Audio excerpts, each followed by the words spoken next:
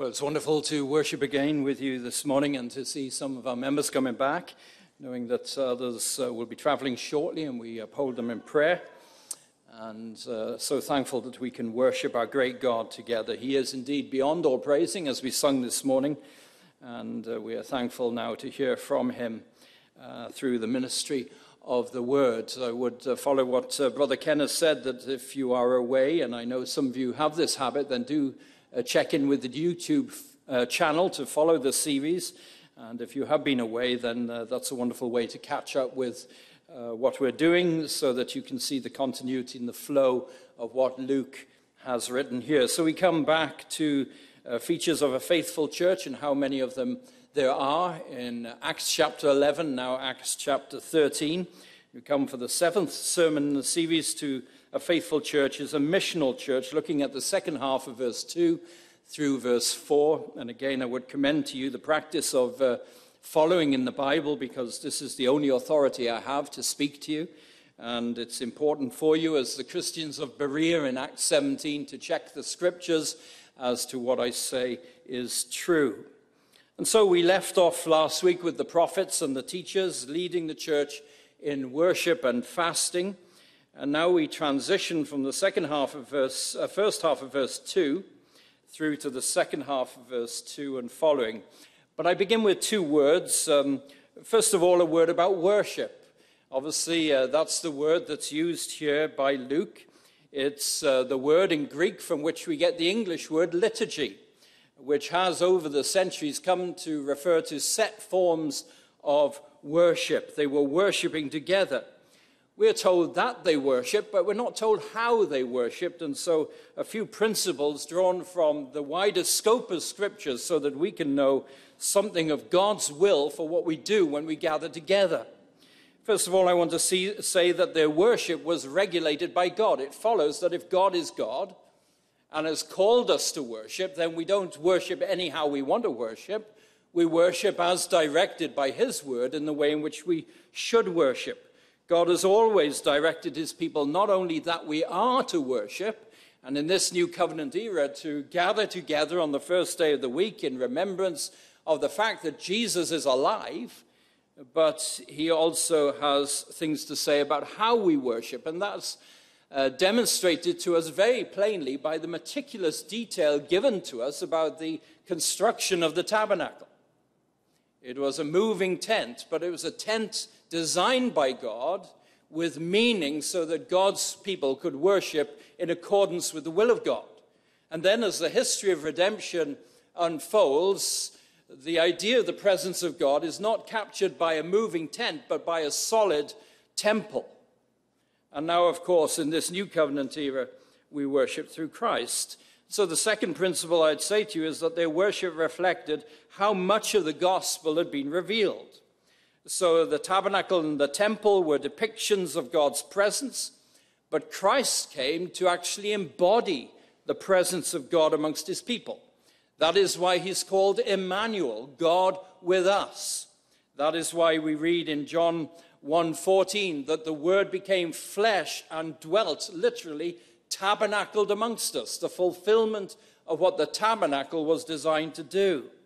So moreover, not only uh, does our worship reflect the person of the Lord Jesus Christ, but also the work of the Lord Jesus Christ. We no longer bring our pigeons or turtle doves, we no longer bring our sheep or our goats or bulls according to our economic standing, because we have Christ, who is the actual Lamb who takes away the sin of the world. And that comports with what Luke has already told us that they were worshipping the Lord, not simply the covenant Lord that we now know to be the triune God, but specifically they were worshipping through the Lord Jesus Christ. Another principle I'd like to bring to your attention is that worship contains abiding elements. This could take a whole sermon, so let me just say that we have certain elements of public worship because they are identifiable not only in the Old Testament, but also brought into the New Testament, such as praise, such as prayer, such as scripture reading and preaching, such as tithes and offerings and the sacraments. Notice then in that uh, litany of elements of worship that the, word, the, uh, the music that we use, the sung praise that we use, is in service to the Word of God. It is the Word of God which is supreme from the beginning to the end of worship, but climactically, as we prepare to hear from God through the ministry of the Word. It is specifically in this portion of the service that we hear from God. So let me say uh, this morning, with regard to music and worship, a few comments, just a few comments. But I want to make these comments because I believe that balance is so critical to the ministry of the Holy Spirit. I believe one of the reasons we have tension sometimes over worship, and specifically the role in worship, is because we have a tendency to lose balance either in a traditional direction or a contemporary direction. I said to one of the uh, fellowship groups the other night, well, um, God has given me some perhaps controversial things to say here, so I'm going to spit them all out while I don't know you very well, so nobody can say he's getting at me. Okay? So let me speak to you about uh, traditional worship, specifically the use of the organ. It's a marvelous instrument, but it is not to be an idol.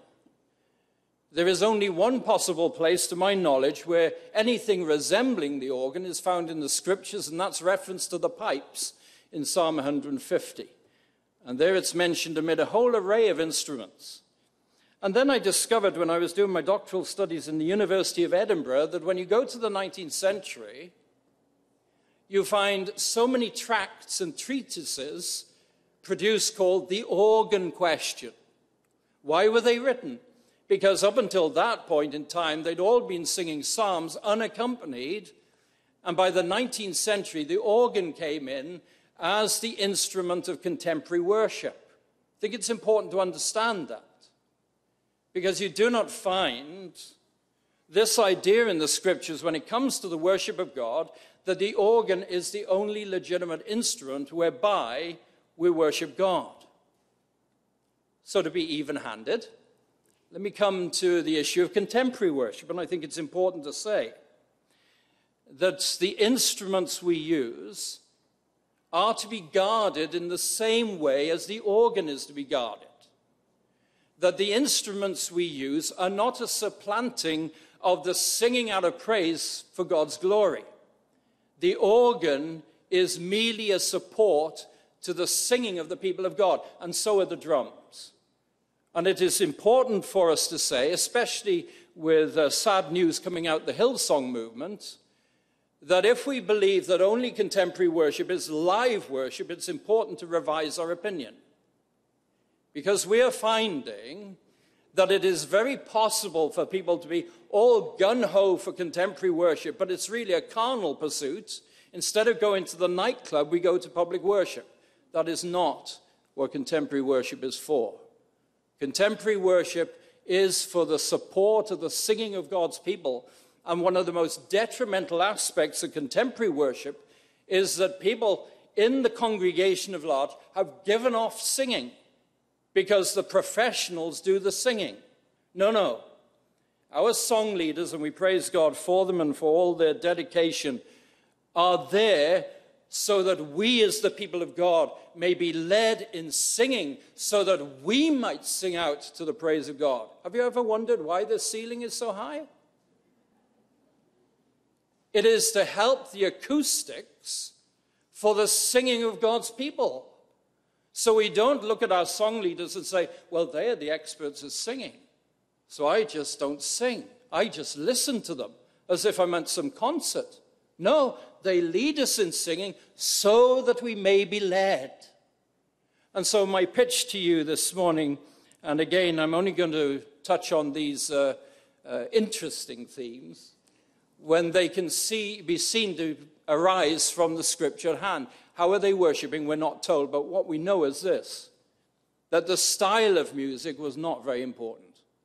What was important is that they came with pure hearts, hearts engaged to glorify and praise God, and hearts and minds listening out to hear from God. And it is for that reason, as we contemplate going back to two services, not to prejudge the decision of the eldership and the outworking by the worship committee, that we need perhaps, if we're on the traditional side of things or the contemporary side of things, to bring our views towards the middle more, to ensure that our preference for instruments is based on biblical principle and does not become an idol. A word then, secondly, by way of introduction about Revelation. As they worshipped and fasted, says Luke, the Holy Spirit said. Now, there are two things going on there. First of all, a subtle reference to the fact, and we've mentioned this before, that the Holy Spirit is not simply a force. He's very powerful. But he's not some abstract force like the wind. He's more powerful than the wind, but he's more personal than the wind. How is uh, that possible? Well, well, he speaks. The wind doesn't speak. We're told in Acts chapter 5 that Ananias and Sapphira lied to the Holy Spirit and thus were condemned because the Holy Spirit is holy and personal. And so there is that reference here. But more than that, I want to speak to this. It begs the question as to whether we should expect new revelations today. And there are two reasons for answering no. First, the Holy Spirit was not giving a new revelation here. The Holy Spirit was not adding to the gospel. The Holy Spirit was merely directing the leaders of the church in Antioch as to what to do with the gospel. In other words, what is going on here is what we call a prompting of the Holy Spirit. It's as if the Holy Spirit nudges, gently nudges the leadership of the church here and says, Now is the time for the church to embark upon mission. And the Holy Spirit, almost certainly, in nudging the people of God, did so through the prophets who were operating and prophesying in the church in Antioch. Now, we don't have prophets today because we have the scriptures. The Holy Spirit has inspired these scriptures, and so we read in Ephesians 2:20 that the apostles and the prophets were but the foundation of the church in the new covenant era. And so now having the word of God, it is through the word that the Holy Spirit speaks.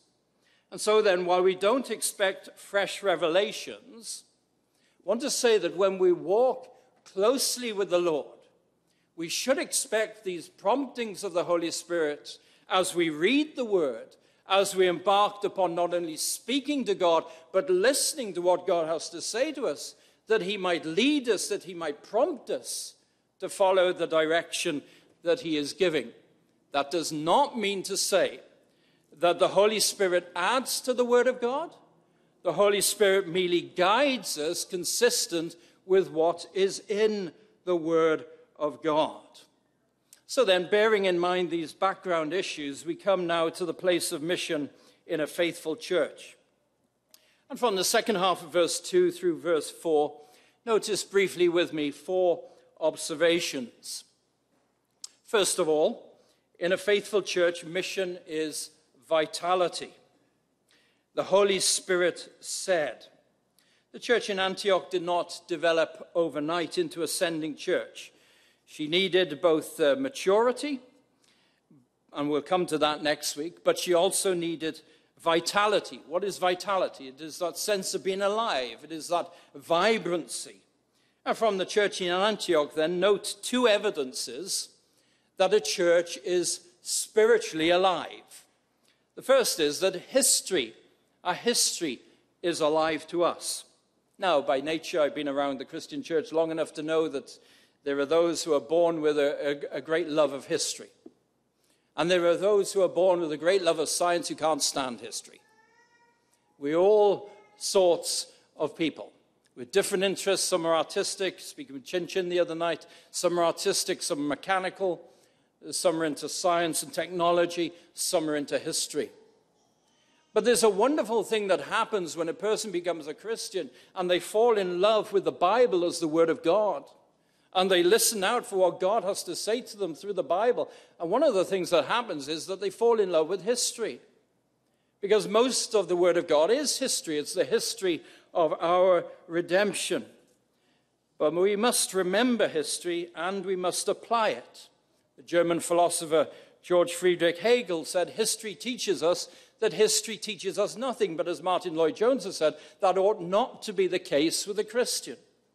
And so I put it to you in the background here the church in Antioch was remembering her history and was ready to apply it. Well, what would they have remembered? Well, they would have remembered, first of all, that it was the men of Cyprus and Cyrene who broke their cultural boundaries, who spoke to the Hellenists the good, the good news of Jesus Christ, and through that the church was founded. So it was because they did, in love, share the good news beyond their own people group that Antioch, the church in Antioch, came into existence at all. She was founded on mission. And also, I put it to you that they would have remembered the God of Israel. God had not cursed that effort of the men of Cyprus and Cyrene, he'd blessed the initiative.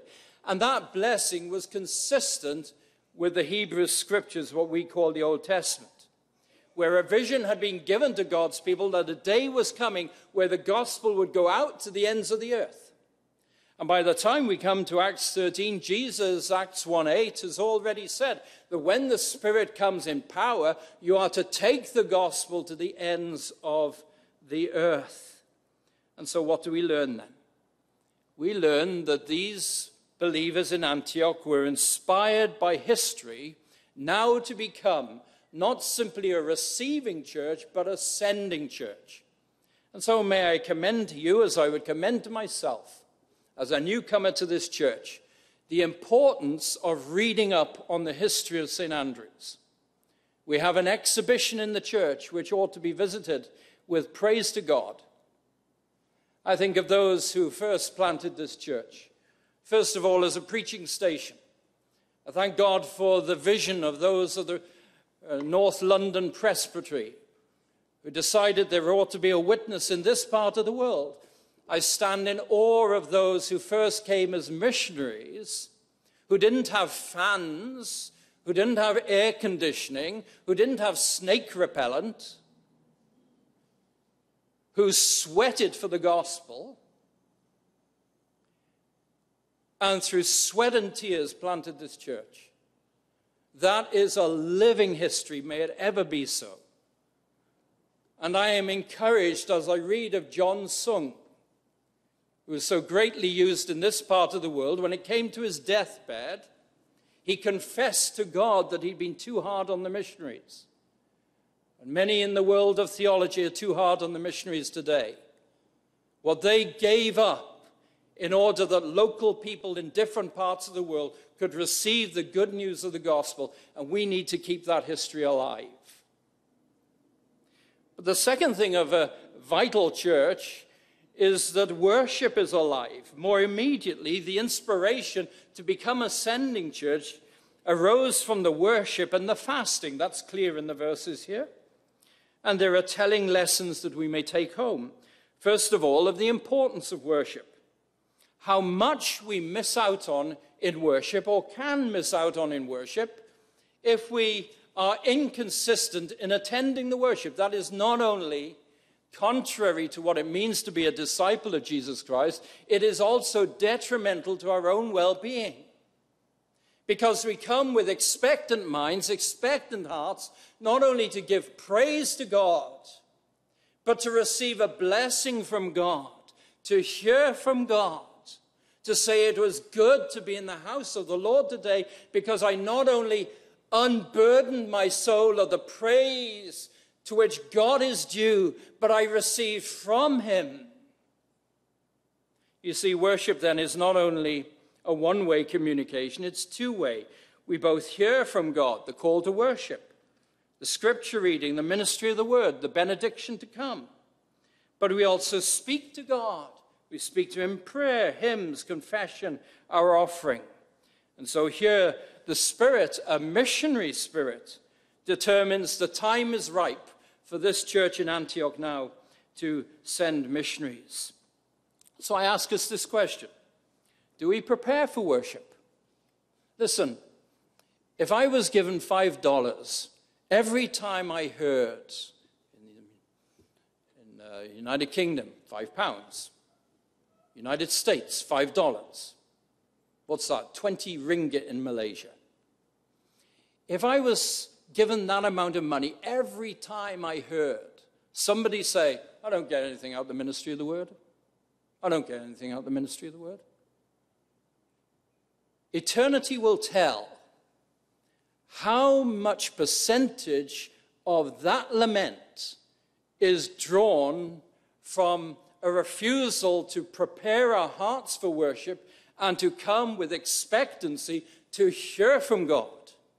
Not only to trot out words to God, but to hear from God. His word entering a cleansed mind through the blood of Jesus, a cleansed heart, a willing will as we come into the house of God saying, what has God got for me today? Because I have come to glorify God, to worship Him, and I have come with every expectation through the gospel of the Lord Jesus that when I adore God, when I worship Him, He is going to speak to me. He is going to shape my thinking. He is going to touch my heart. He's going to redirect my will according to His will. It was while they were worshiping and fasting, the Holy Spirit said, have we cleared the channels for worshiping God, for hearing from God? Secondly, in a faithful church, mission is humility. Sad to say, the church isn't always eager to send out its members on mission. There are a number of reasons for that. Nobody likes to see a church shrink by planting another church.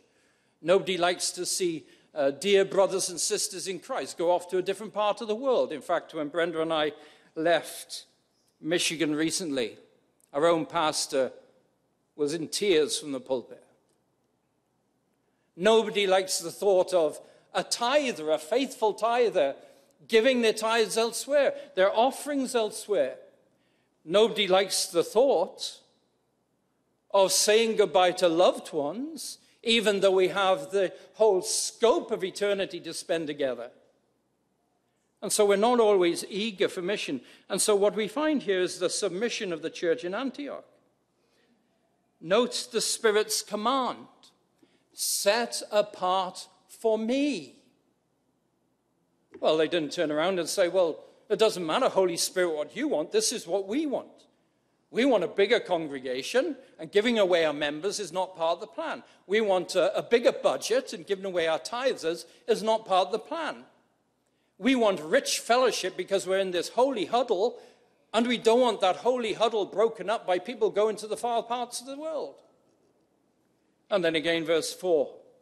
What do you find? They were sent out by the Holy Spirit. And so there is then going on here a threefold submission. First of all, the submission of the leadership. The Holy Spirit is directing them to give up 40% of their leaders. Consider the feelings of Simeon, Lucius, and Manaen. What a weight of responsibility falls on them. We read that it was Barnabas and Saul who were teaching the church for a whole year, and uh, now Simeon, Lucius, and Manaen have to say, well, okay, huh. A lot falls on us. Five leaders here. We have five elders in St. Andrews, teaching and ruling elders. Supposing, as a result of the worship service this morning, the Holy Spirit says, Set apart for me, Elder A, Elder B, because I've got work for them to do outside of St. Andrews. You know what the other elders are going to be saying, you know what the congregation is going to be saying. We can't afford this. We can't afford this. But they submitted as leaders to the direction. We pursue congregational maturity precisely that we may be ready for the Holy Spirit to redirect the energies of some of our leaders. Then we notice the submission of the church. The Holy Spirit directs the saints to relinquish their fathers in the faith. Barnabas and Saul had taught them for a whole year. Yet now God wills for them to serve the wider church. So the church has a choice. Are we going to thank God for the ministry that we received for a year? Or are we going to lament the fact that Barnabas and Saul are no longer going to be with us? Notice here, contrary to what we sometimes find when mission comes into view, that God gives to the wider church the best, not the worst. I remember as a young student, we had come to the church where I attended as a student, a man by the name of Omri Jenkins, who's now with the Lord, who was director of the European Missionary Fellowship. And I always remember him saying, as an elder statesman in the faith, as he looked at us students, and he says, The church needs to be ready to give away its best men. But that's not always how we treat the mission field. I remember hearing when I was a young boy of missionaries open up in a care package. And they were astonished to find tea bags in the care package that had already been used. Well, just give the used tea bags to the missionaries. But that's sometimes our view of missions. It's all important what happens here. What happens out there doesn't matter so much. And in fact, when students come out of theological college, and some uh, may have a dubious gift to preach, they may bore uh, the pants off people, or they cannot organize their, uh, their information, and it's uh, troublesome as to whether they can hold a congregation together through the ministry of the word. What do we say? Well, we say, oh, send them off to the mission field. Send them off to the mission field. No, if they can't preach on home soil, they certainly can't preach in a culture that's not their own. So you see the submission of the church. They submit to the Holy Spirit's leading that their best men, their strongest men, be sent away. And then the submission of Barnabas and Saul. The Holy Spirit directs them to leave a place where they've known peace and blessing. Barnabas had come up from Jerusalem, a hostile context. Saul had been run out of Damascus, then out of Jerusalem. You can read of that in Acts 9 and compare Acts 26 21. And now he's going to the unknown. Why does he go? Well, you see, it's already been prophesied of him that he'll go to the Gentile world. And this is what we read in the third version of his testimony in Acts 26 16 through 18. I am Jesus whom you are persecuting. It's on the road to Damascus. But rise and stand upon your feet, for I have appeared to you for this person, purpose to appoint you as a servant and witness to the things in which you have seen me and to those in which I will appear to you, delivering you from your people and from the Gentiles to whom I'm sending you, to open their eyes so that they may turn from darkness to light and from the power of Satan to God, that they may receive forgiveness of sins and a place among those who are sanctified by faith in me. You see the two sides of that. Go to the Gentiles. So Paul, Saul here, deduces that this directive from the Holy Spirit comports with the commission he's already received, and he goes in the hope that the gospel will come to countless others, and it does. Thirdly, in a faithful church, mission is generosity, verse 3. Then, after fasting and praying, they laid their hands on them and sent them off, humbly submitting to the wisdom and the will of God. Simeon, Lucius, and Manaen prepare the church for the departure of Barnabas and Saul. Notice three elements. First of all, the commending. The first time Barnabas and Saul were sent out, it was spontaneous. They heard of the famine going to be affecting the church in Judea. So the disciples give, gathered together, they gave in accordance to what they have, and they sent Barnabas and Saul off. But this is different. We read that the church fasted again, not this time to hear from God, but to commend Barnabas and Saul to God in prayer. Notice the end of the missionary journey, which uh, Ashley read earlier, chapter 14, verses 24 to 26. Then they passed through Pisidia and came to Pamphylia. And when they had spoken the word in Perga, they went down to Attalia. And from there they sailed to Antioch, where they had been commended to the grace of God for the work that they had fulfilled.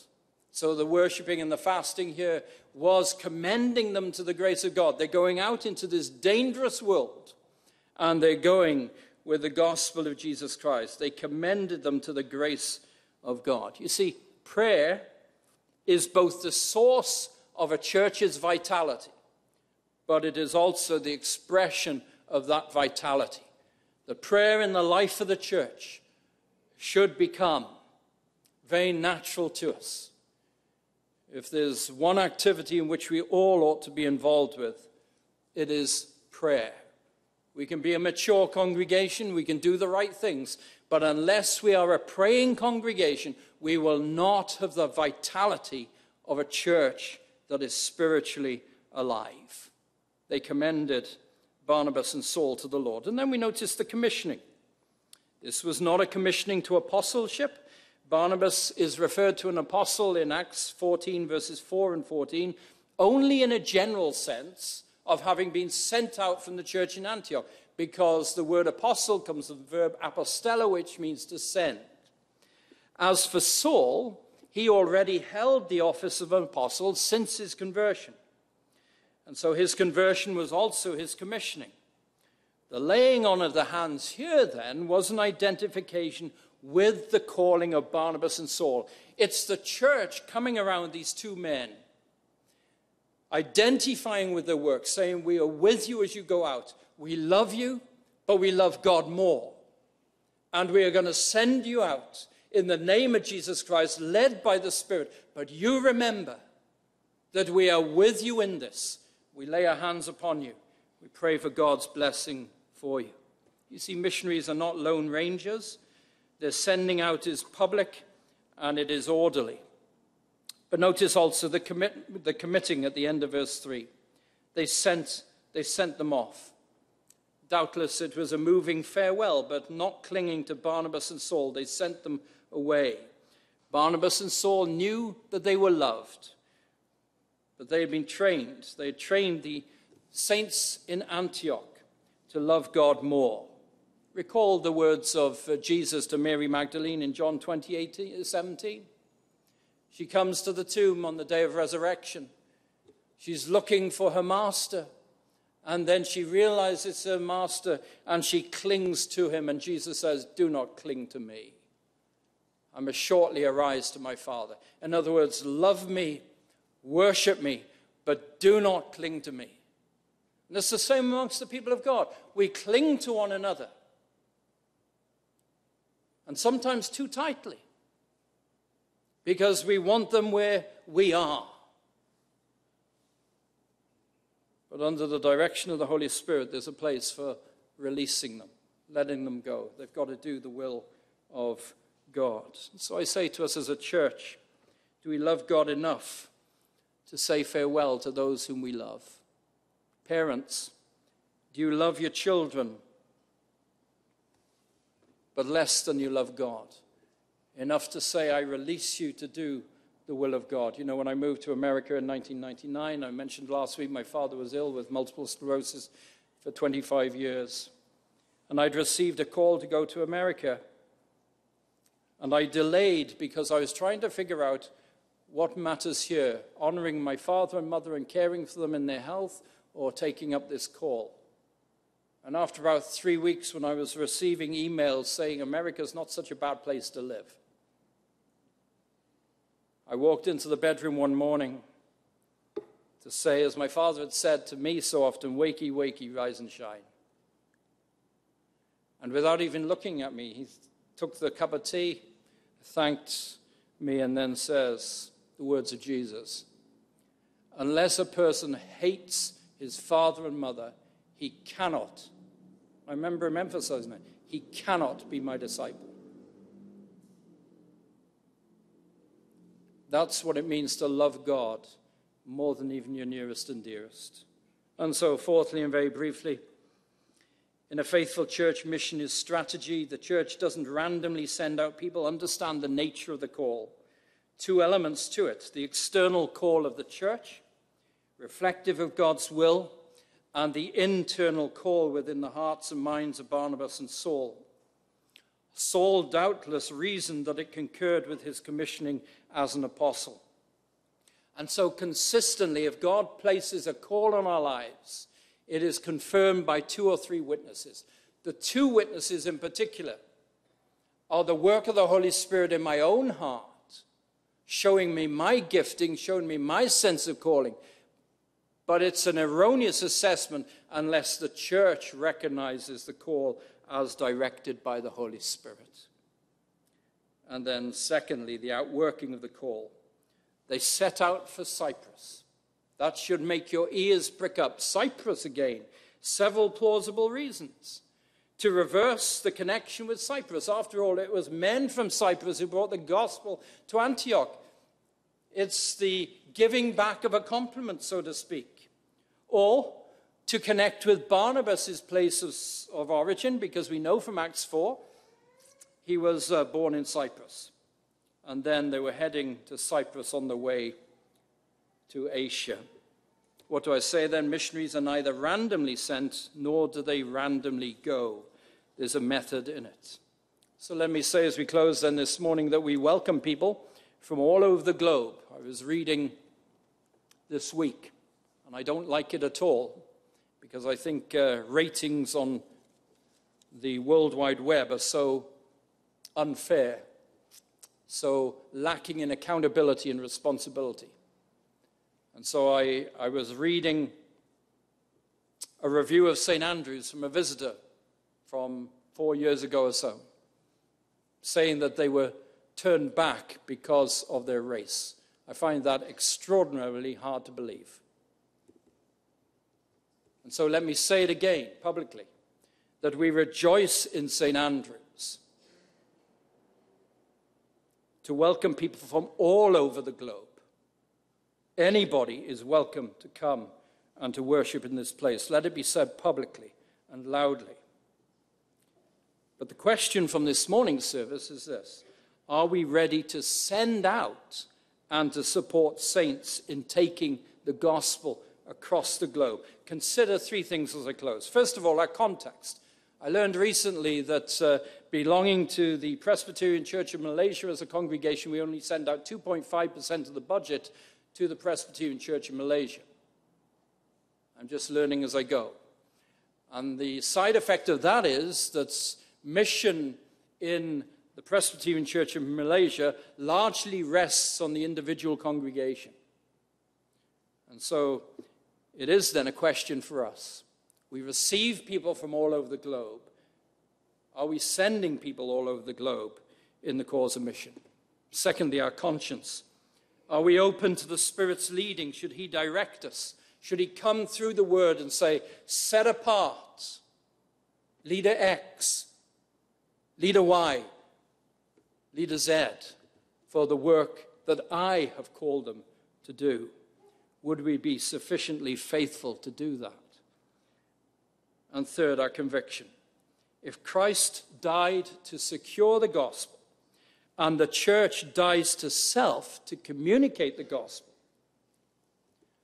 should not you this morning, if you are yet to believe in the name of the Lord Jesus, yet to turn from your sins unto the Lord, should not you run to Christ for the gospel? If Christ died for the gospel, it's so important. If the church is to die to self for the gospel because it's so important, should not you, if you are yet to profess faith in the Lord Jesus Christ, come running to Christ for the gospel? Well, help us, Lord, to be a faithful church. Let us pray. Father, we thank you for your word. There's so much in it, and we've run through it so quickly. But we thank you that your spirit is alive and personal and well able to take hold of this word and apply it to our minds and hearts. Help us to walk so closely to you as your people that we are prompted by the Holy Spirit, nudged to do your will day by day. Father, we also pray for any who as of yet do not have faith in Jesus Christ, have not turned from their sins unto you, that even this moment you would bring them from death to life. And grant them, O God, abundant entrance into your kingdom through Jesus Christ our Lord. So follow your word with your blessing, we pray, and we'll give you the glory through Jesus Christ our Lord, the one and only head of the church. And all God's people say, Amen.